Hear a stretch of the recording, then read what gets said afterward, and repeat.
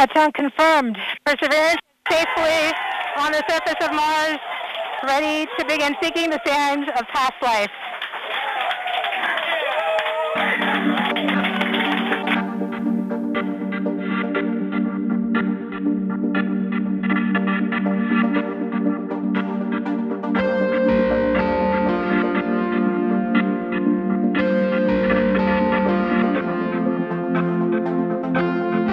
We have a camera in the front and out rear of the, of the, of the spacecraft.